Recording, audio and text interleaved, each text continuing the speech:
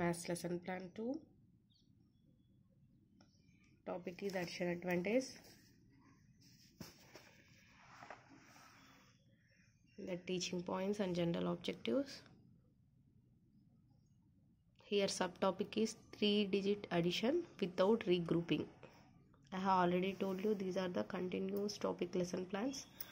Is period wise lesson plans. Specific objectives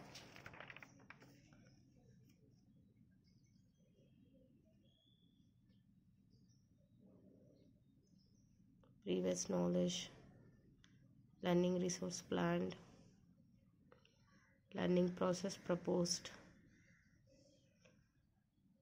introduction.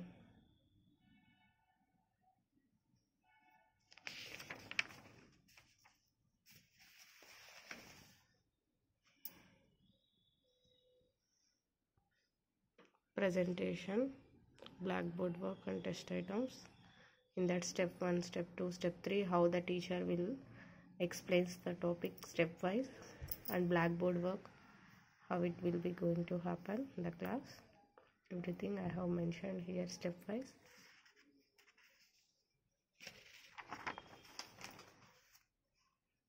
Evaluation. Next homeworks